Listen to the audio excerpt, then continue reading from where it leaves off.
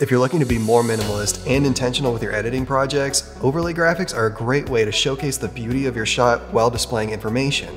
In today's tutorial, we're going to marry motion graphics with video. Hey everyone, this is Jordan with Sonduck Film. If you're ready to create some great motion graphics, be sure to drop a like on this video and let's get started. Alright, so here we have our basic stock image and we'll start our overlay graphic with the largest segment, which is going to be this big angled shape layer that will cover a portion of the screen.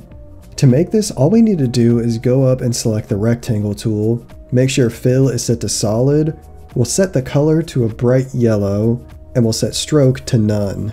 Now click and drag to create a big rectangle shape, make sure it's much taller than your composition so we can rotate it, and make sure it's wide enough to cover a portion of the screen. Now press R for rotation, then increase the angle by a bit until you have this slight tilt to the object, now position the object about a third of the way into the composition, press P for position, then set a keyframe. We'll move forward about 40 frames in the timeline. You can do this by holding down the shift key and then pressing the page down key four times, then set another keyframe. Now go back to the first keyframe, decrease the X value until the shape moves off screen, highlight the keyframes, press F9 to make them easy ease keyframes, Open the graph editor tool, then drag both sides of the curve all the way inward to smooth out the animation. And now we have our base shape layer animated and ready for us to start adding more elements to it. Next, we're going to create the box element that's going to be animating in and going around our text layers. So here we have our basic text layer and we want to create a box that goes around it, so highlight the rectangle tool. We'll change the color this time to a very dark gray then click and drag to create a box that goes around the text.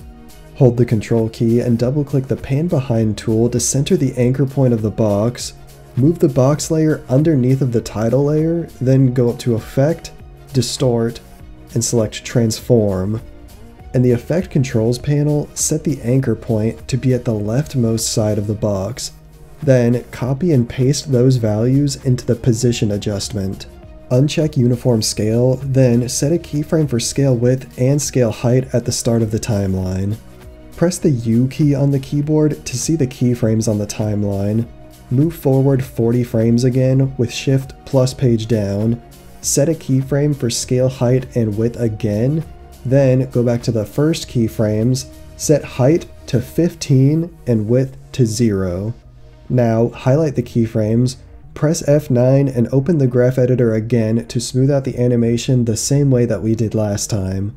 Lastly, highlight the keyframes for scale height, then offset them slightly by about 10 frames, and now you should have this nice two-part reveal animation for the box that's going to go around the text. If you like the graphic featured in this pack, it actually comes with our new Editor's Motion Pack. It features over 300 motion elements to help enhance your editing projects and make them stand out. With our easy to use extension, all you need to do is find a graphic you like and click apply. Once it's out on the timeline, you can use our simple control layers to customize the graphic to fit your needs. And just like that, you have an awesome custom composition to use in your projects. Check out the link in the description below or visit sonduckfilm.com for more details. Next, we're going to animate our text layer and use an alpha matte to have the shape layer reveal the title as it's animating in. Start by opening up the text layer, select Animate, Position, then select Add, Property, Opacity. Set the Y value of position to 100, the opacity to 0%, open the range selector, advanced, and set based on to lines. Next, move 10 frames into the composition to the same spot that the height animation of our text box is.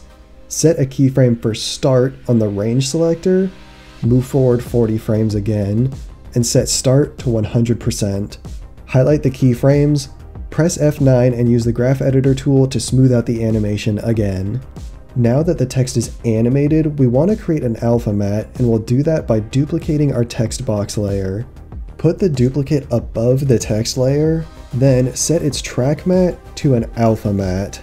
If you don't see the track matte dropdown, click the toggle switches and modes button at the bottom of the screen. Now our text layer is fully animated and it's masked to our animated box layer. Next, we're going to duplicate this text element a few times to add more words to our composition. highlight both box layers and the text layer, press Ctrl D to duplicate them, move the duplicated layers to the top of the layer list, press P for position, then move the duplicated layers down so that the text is underneath of the first on the composition like this. Now duplicate the layers again, move them to the top of the layer list, and move their position to be down even further so you have three text layers stacked on top of each other like this. Since we duplicated the text boxes, they're going to keep the exact values for the transform effect that we applied to them, so we have to change them to match their new position or they're going to animate from the position of the first box. So highlight the first duplicated text box, go to the effect controls panel, set the anchor point to be on the leftmost side of this layer, then copy and paste those values into the position adjustment.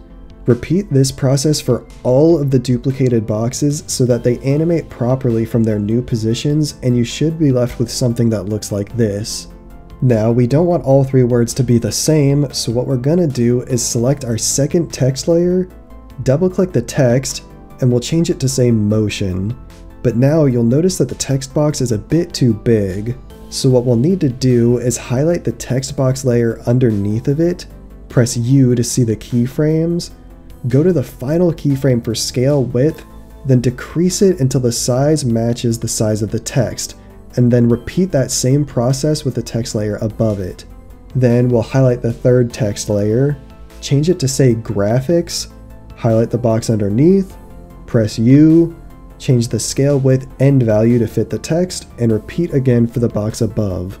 Now we have three different text layers with their own text boxes that match their size. Next, we'll add a final accent and animate one more text layer as the finishing touches for our composition.